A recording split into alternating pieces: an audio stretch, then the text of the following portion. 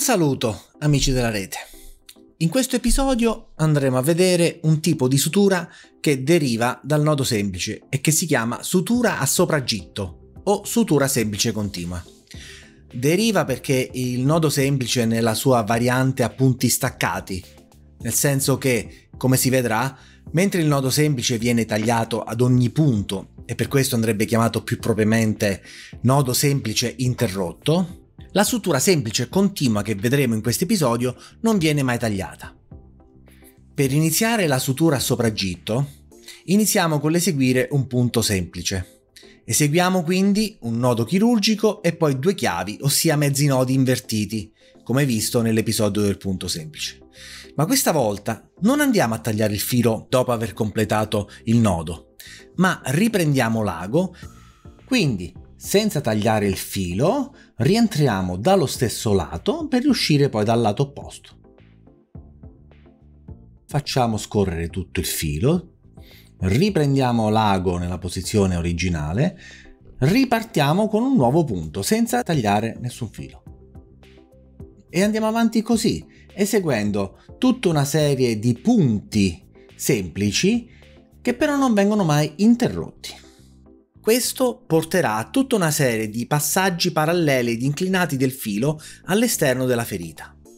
Per chiudere il sopragitto, invertiamo la posizione del lago nel portaghi e rientriamo questa volta dal verso opposto di come fatto finora, facendo attenzione a lasciare un piccolo cappio di circa un paio di centimetri fuori dalla pelle.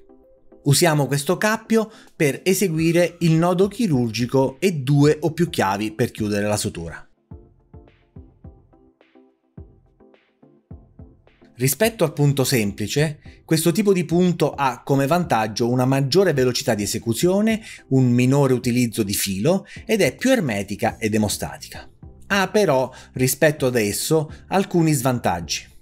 Innanzitutto, la tensione del filo lungo la ferita non è omogenea e mentre nei punti iniziali e finali vi è il rischio di stenotizzare o ischemizzare la ferita, i punti intermedi risultano più lassi, Inoltre, nelle suture continue, il cedimento di un punto comporta la deiescenza completa della sutura e non possiamo usare un filo non riassorbibile, perché se proviamo a sfilare la sutura, la lunghezza del filo sottopelle non permette di rimuovere il materiale di sutura.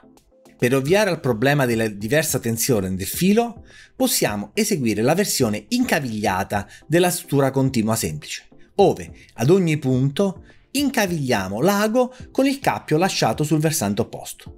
Quindi iniziamo la sutura come prima con un punto semplice, ma quando la continuiamo infiliamo di volta in volta l'ago nel cappio lasciato sull'altro lato della ferita.